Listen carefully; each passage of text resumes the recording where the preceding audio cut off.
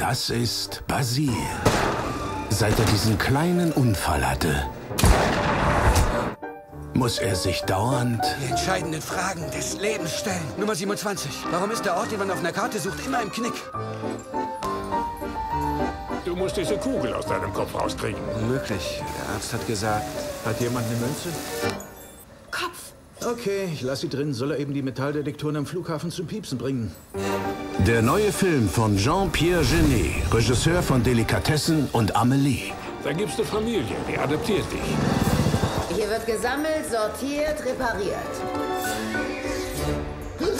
Schon meine Mutter hat immer gesagt, hüte dich vor den verdrehten Frauen. Ich bin nicht verdreht. Ich bin eine sensible Seele in einem flexiblen Körper. Ich weiß jetzt, von wem die Kugel ist, die in meinem Kopf steckt. Den will ich jetzt heimzahlen. Kann mir bitte jemand dabei helfen? Wer von Amelie verzaubert wurde Wo gehst du hin? Dahin, wo du hingehst. und mit den Sties gelacht hat, Also dann nageln wir sie fest. Oh, ähm, im übertragenen Sinne. wird diesen Film lieben. Ich habe eine Lieferung für Monsieur.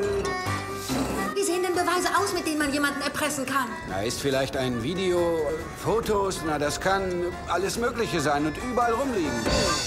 Danke für die überaus genauen Angaben. Gern geschehen, kein Problem.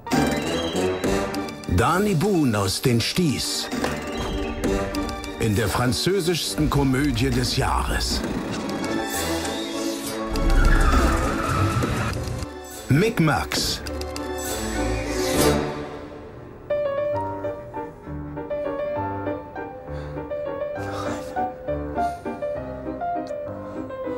Noch ein.